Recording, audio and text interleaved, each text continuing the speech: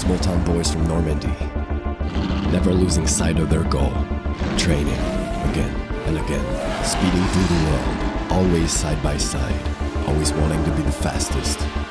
21 years later, they turn teammates, and home is where they reunite.